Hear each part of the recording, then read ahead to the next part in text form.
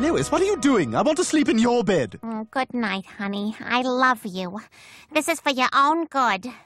Lois, wh- wh- where are you going? Lois? Lois? Lois, answer me! Damn you, I will not be ignored! Get back in here! Get back in here and love me! Ah!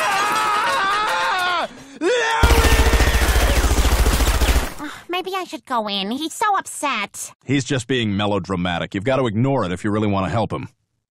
Are you flexing? What? Me? No. no. Why, why would I be flexing? I mean, I have uh, sort of been hitting the gym, so uh, if, if you wanted to see how it's going. Gadoosh!